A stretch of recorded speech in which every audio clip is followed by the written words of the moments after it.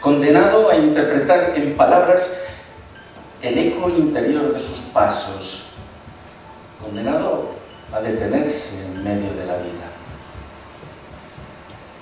Y al detenerse surge el canto y la necesidad de unir sus labios a la tierra, de unir con el hilo de la voz el lenguaje y la materia, para que de ella crezca la palabra milagros cotidianos que nos llenan la vida y le dan un sentido. Como si te posases en mi corazón y hubiese luz dentro de mis venas y yo enloqueciese dulcemente. Todo es cierto en tu claridad. Te has posado en mi corazón. Hay luz dentro de mis venas. He enloquecido dulcemente, como si te posases.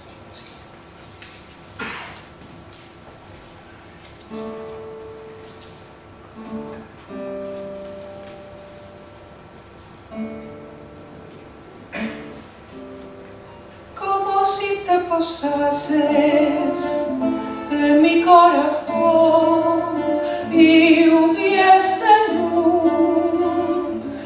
dentro de mis venas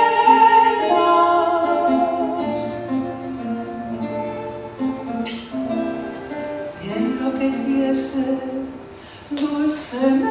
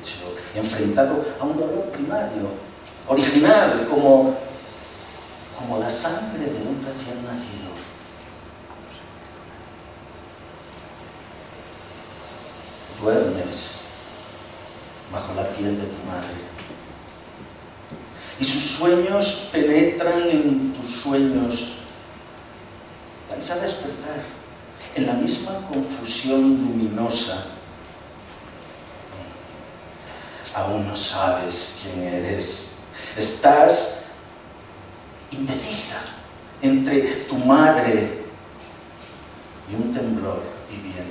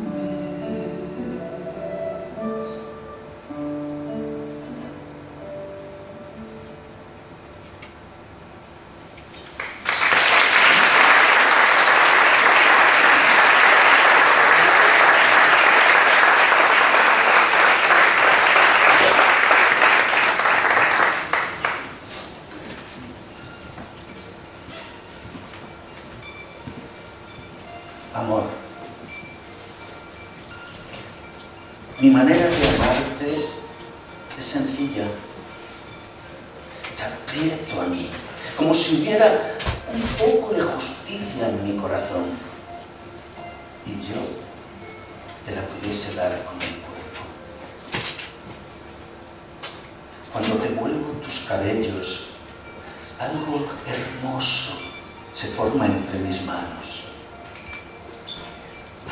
Casi no sé más.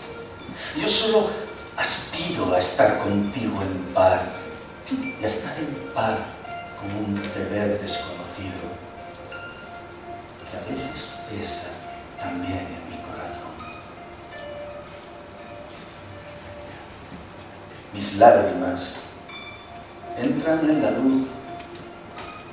Miro a mi amor es una vecilla desnuda, negra, fría.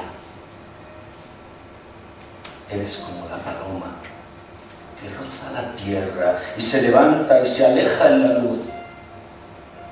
Tú atraviesas un resplandor y yo te amo desde lejos. Eres como la paloma. Eres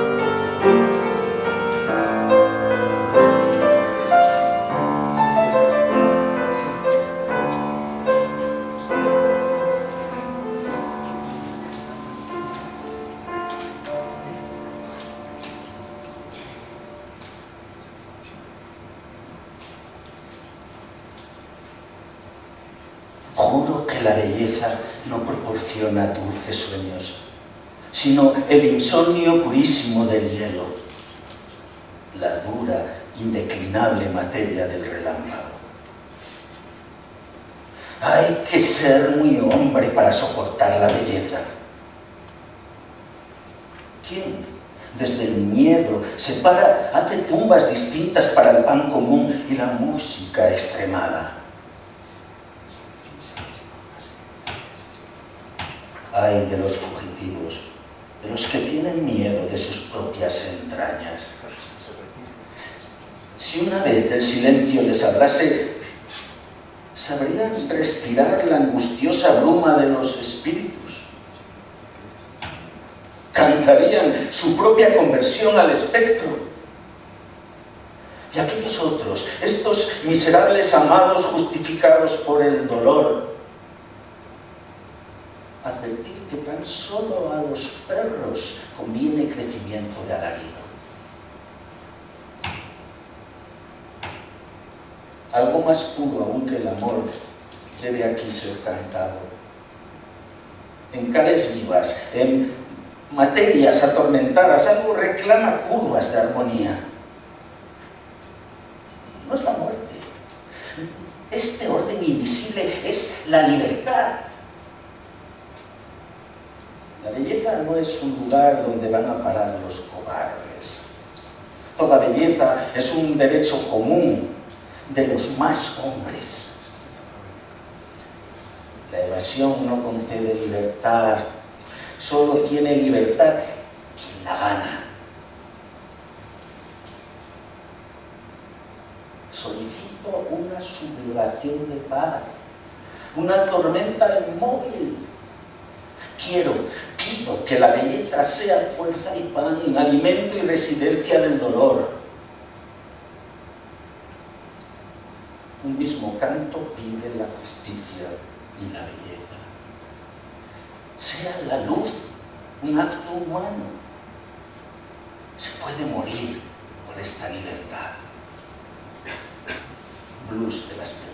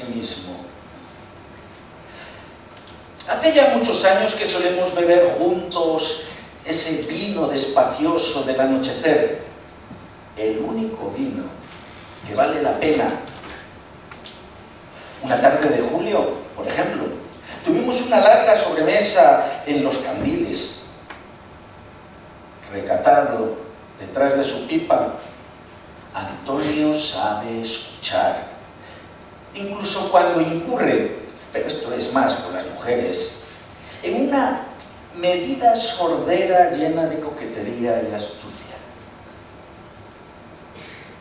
Había que declararse con sinceridad de siempre y en común nos hemos prohibido la medicina complaciente. Bolero de la ferretería, Antonio Pereira.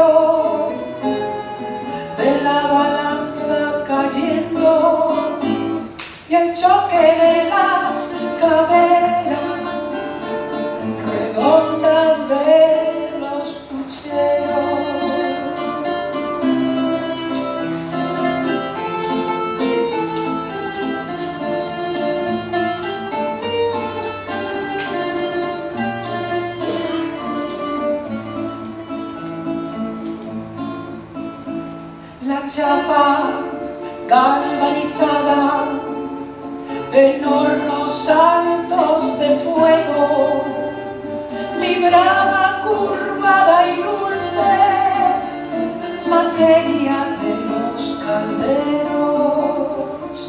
Las guadañas se escogían arrancándoles el eco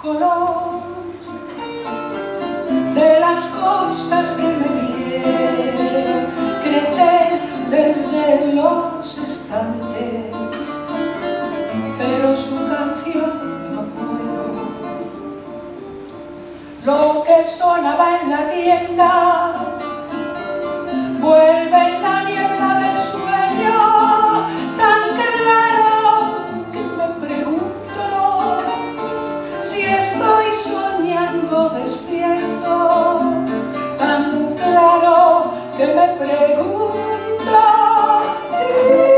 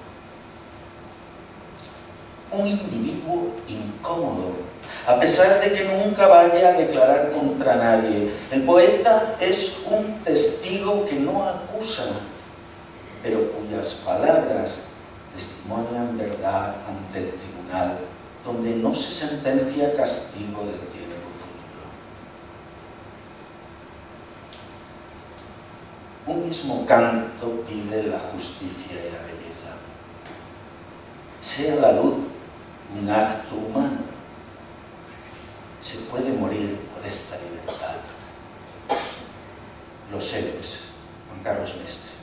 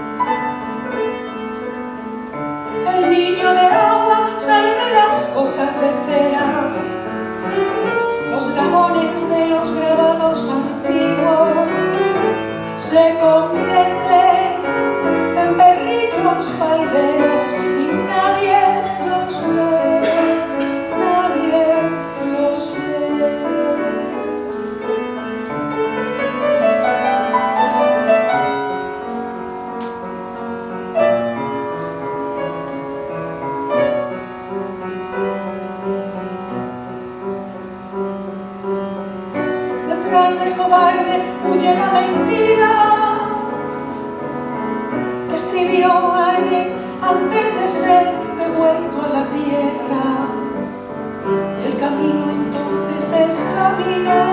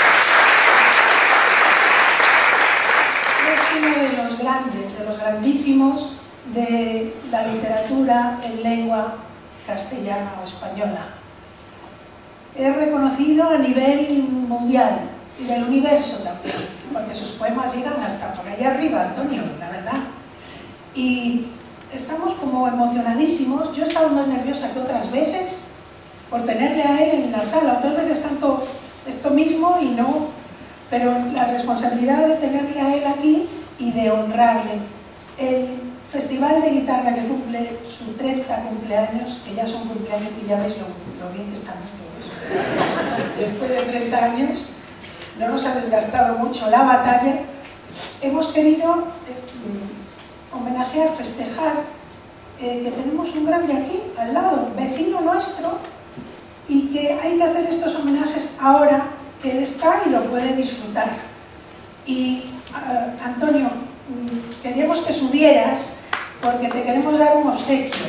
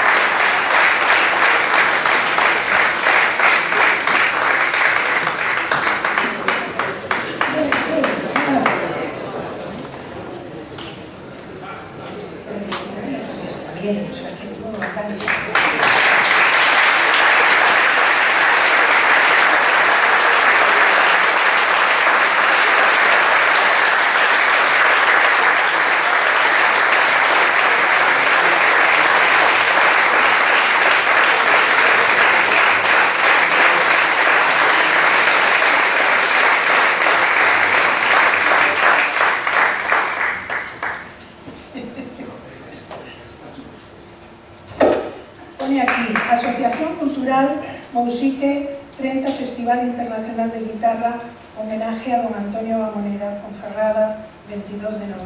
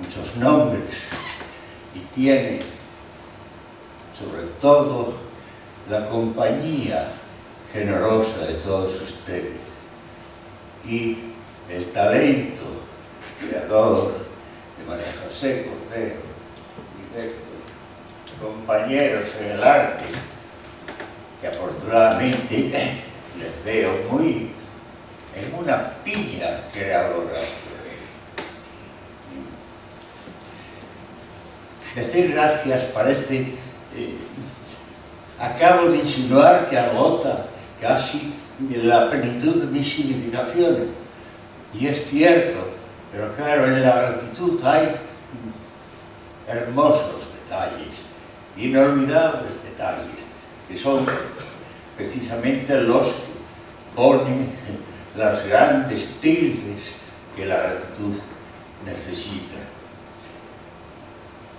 Y María José, y estos artistas como María José, ustedes mismos, se hayan congregado aquí para recordar, me parece, que la voluntad está en recordar y de alguna manera hacer presentes a los poetas del noroeste de España.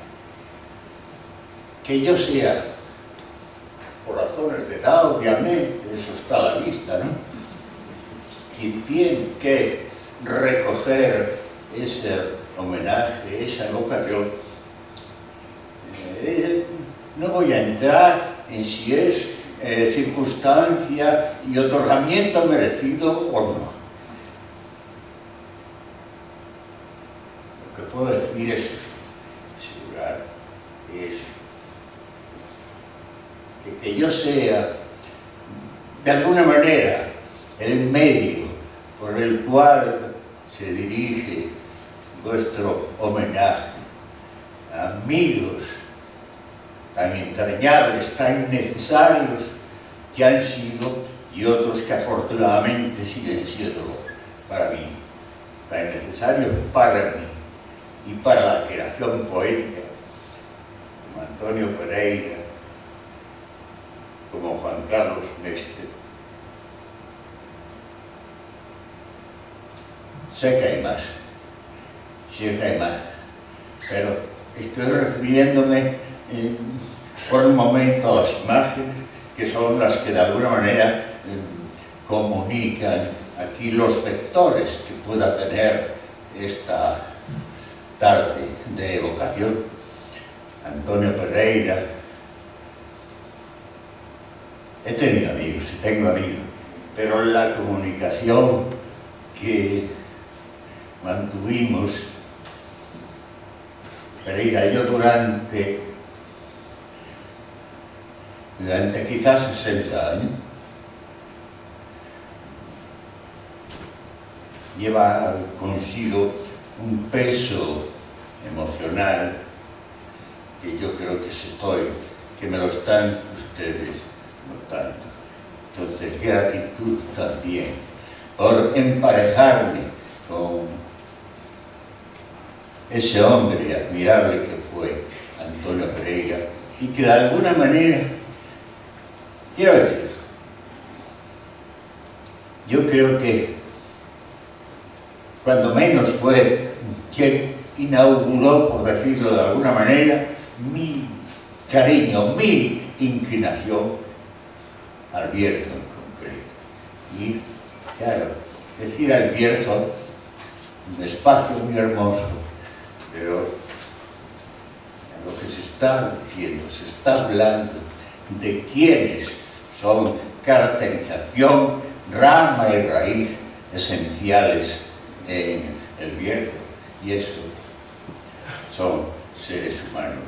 Y en este caso, creadores, como lo repitiendo.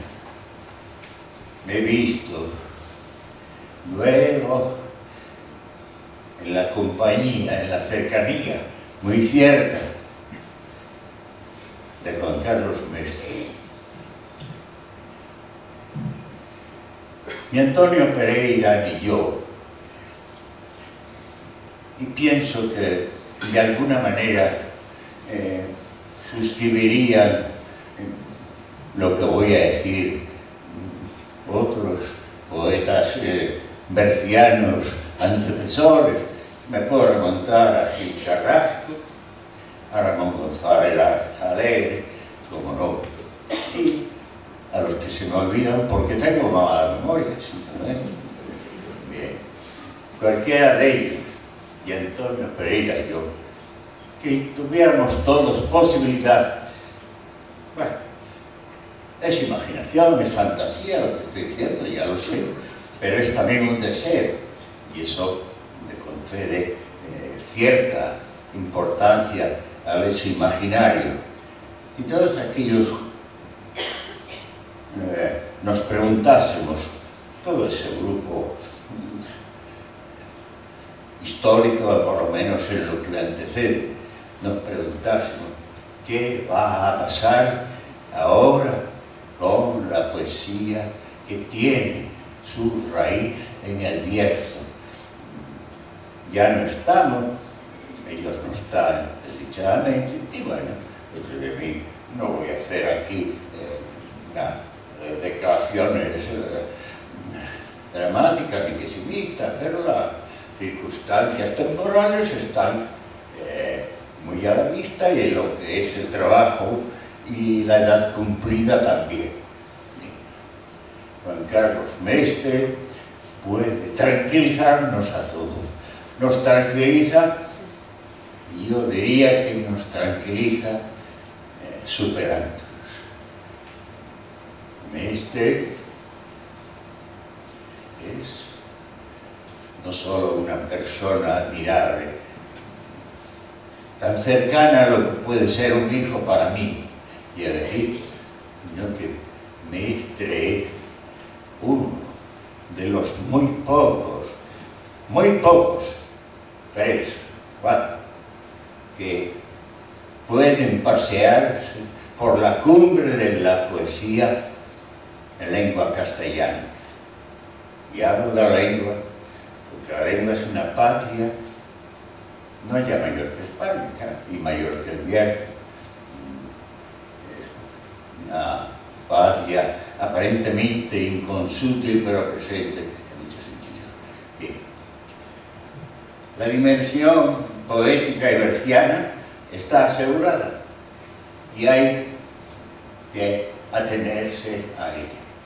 Y así como este homenaje naturalmente, yo lo recibo y lo agradezco en nombre de quienes me acompañaron y de quienes me precedieron y también mm, de quienes, que no solo Mestre, ciertamente, pero diría que es el más cercano, de quienes de alguna manera están en el presente y orientándose hacia eh, tiempos que os deseo mejores a todos vosotros.